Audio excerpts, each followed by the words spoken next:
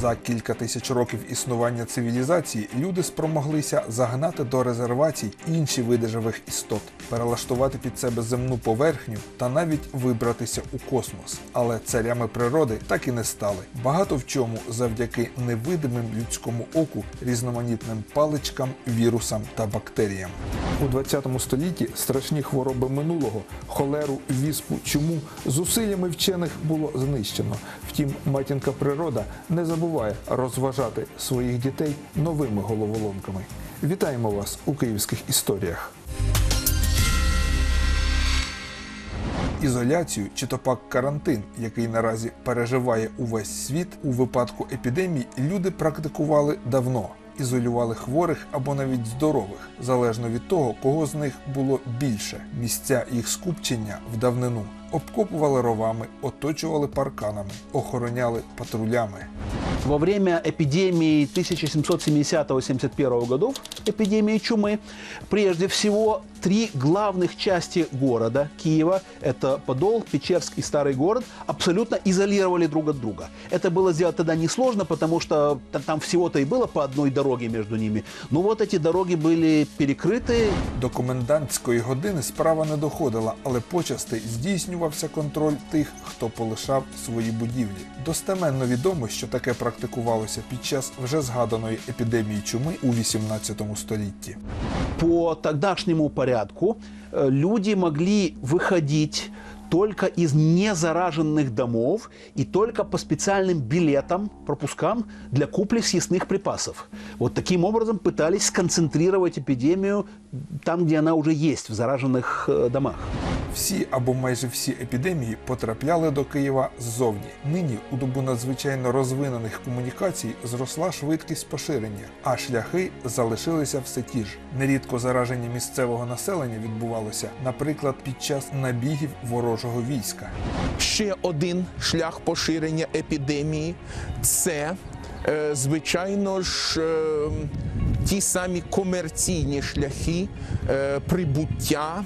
Е, м, Людей, заражених чумою, найчастіше з країн Сходу. Передусім, це Туреччина і Персія. Мандрівники, купці, а нині заробітчани завжди були групою ризику. Тисячі людей, що купчаться на кордонах, складно не те, що ізолювати, навіть перевірити на наявність хвороби. У часи становлення Російської імперії роль таких заробітчан виконували козаки.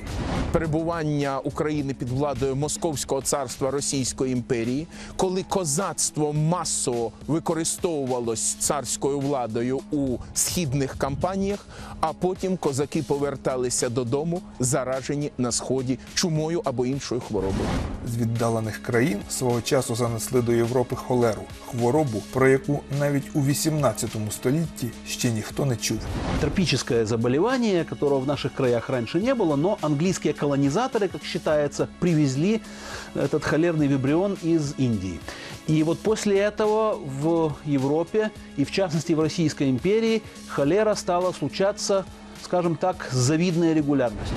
У 18 та 19 століттях епідемії холери, великі та малі, навідували Київ ледь не щороку. У тих, хто захворів, шанси вижити були приблизно 50 на 50. Така висока смертність пояснювалася жахливою антисанітарією, що панувала тоді на київських вуличках. Якщо говорити про холеру, то це така гостра кишкова інфекція, і тут дуже велике значення має е, правильне поводження людей в побуті і е, правильне такі е, комунально-побутові умови місць, в яких знаходяться люди. Якщо у мирний час влада вкупі з медициною ще якось вправлялася з епідеміями, то під час війн до них почасти не доходили руки. Великі війни завжди супроводжуються великими епідеміями, адже померлі від умовного тифу почасти автоматично зараховуються до числа військових втрат, коли Лік жертв іде на десятки тисяч. Тут вже не до роздільної статистики. Під час Першої світової війни київські госпіталі були переповнені пораненими. Вокзал, ринки, громадські місця захлиналися від напливу біженців. Ця ситуація спровокувала спалахи холери і особливо тифу. Пізніше, вже наприкінці війни, Київ подотичній зачепить і іспанський грип, але саме тиф стане в цей час найбільшою проблемою. В 1919 и особенно в 2020 году э, в Киеве случилась э, большая эпидемия тифа. Счет жертв шел на тысячи. Распространителем э, тифа, основным, по крайней мере, являются вши. Меленькие насекомые, которые живут в одежде. Є декілька тифів, декілька ну, е, назв, да, декілька захворювань, які в своїй назві можуть нести назву тиф. Є так званий брюшний тиф і є так званий е, висипний тиф. Це різні е, захворювання, різні захворювання, але дійсно реєструвалися і під час, під час військових подій. З потужною епідемією тифу 1920 року довелося боротися більшовикам, які на той час вже остаточно оволоділи Києвом. Боротьба відбувалася цілком і повністю за законами воєнного часу, коли недисципліновані інфіковані перетворювалися на ворогів. Был такой уполномоченный по борьбе с эпидемиями, которого иначе чуть ли не официально называли санитарный диктатор. Э, Его э, распоряжения имели силу военного приказа, и за их неисполнение карали по законам военного времени. Щоб зупинити розповсюдження епідемії, до мінімуму обмежили рух потягів. Пересуватися ними було дозволено лише за спеціальним письмовим дозволом. Ця епідемія тифу виявилася найбільш масштабною за весь час існування радянської влади, принаймні за мирний час. Профілактика, щеплення, здоровий спосіб життя допомагали не завжди. Навіть за залізною завісою Радянський Союз іноді відвідували епідемії, завдяки яким доводилося закривати на карантин цілі міста. Тиф повернувся до Києва під час Другої світової війни. У 1941-43 роках час був радянський, але влада нацистська. Епідемія, якої окупанти надзвичайно боялися, не набула великого поширення через те, що місцевих залишалося не так багато, і спілкуванням вони не зловживали. Це була д- действительно паранойя. Немцы видели заразу где только могли, предпринимали большие усилия, чтобы, значит, не дай бог, э, зараза не распространилась, чтобы не заразиться самим. О местном населении то они, видимо, меньше заботились, а вот за себя любимых э, переживали. З іншого боку, цікава практика мала місце у середовищі німецьких солдат. На барахолках Євбазу вони купляли у місцевих хлопчаків тифозні воші, щоб заразитися і певний час пролежати в шпиталі, замість того, аби ризикувати життям під кулями на східному фронті. Медицина ХХ століття встигла розвинутися достатньо, аби запобігти основним хворобам, що здавна тероризували людство. Втім, траплялися серйозні спалахи, під час яких закривали цілі міста.